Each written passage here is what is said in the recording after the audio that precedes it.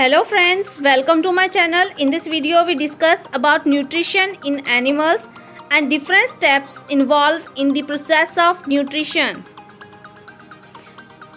Animal nutrition is a process of taking food by an organism and its digestion, absorption and utilization in body.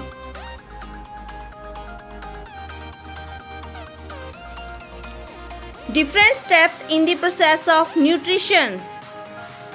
There are five main steps in the process of nutrition in animals. These are ingestion, digestion, absorption, assimilation and egestion.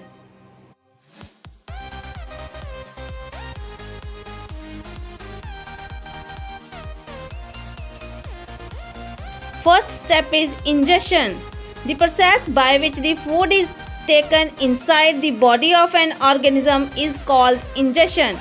When we put food into our mouth with hands, we ingesting the food.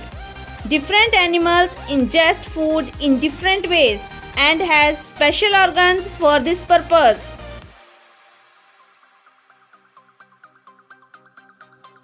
Digestion The food of the most animals consists of complex insoluble substance which cannot be absorbed by animal's body. The breakdown of complex insoluble food substance into simple soluble food substance with the help of digestive juices prepared by the body is called digestion. Absorption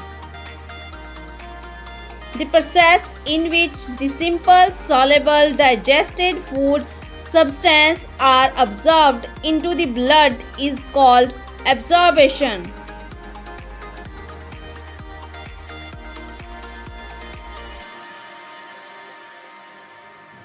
Assimilation the simple soluble absorbed food substance are transported to the different parts of body where they are utilized for energy growth and repair. This process is called assimilation.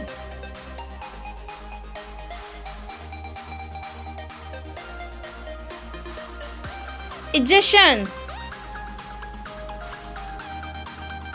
A part of the food which we eat remains undigested and unabsorbed which cannot be utilized by the body.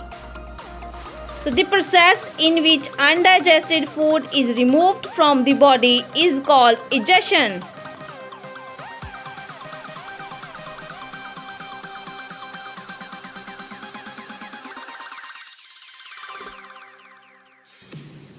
Thanks for watching. Like, comment and share my video. Also subscribe my YouTube channel. Also press bell icon so you get notification of my new video.